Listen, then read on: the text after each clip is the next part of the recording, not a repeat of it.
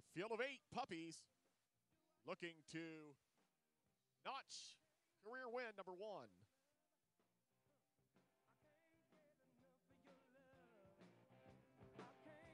And they're off. That's the seven firing to the front, four on the inside, three and eight, six, five, two and the one.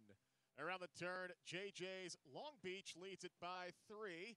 Hot Ariel Hardin is second. Coach Xander up on the outside now, moving up quickly. Then JJ's Burbank, followed by JJ's Fresno. The seven, JJ's Long Beach, still has a substantial lead. It is starting to diminish, however, as they approach the line. JJ's Long Beach breaking her maiden. 7 6 5 and 8 in tonight's first.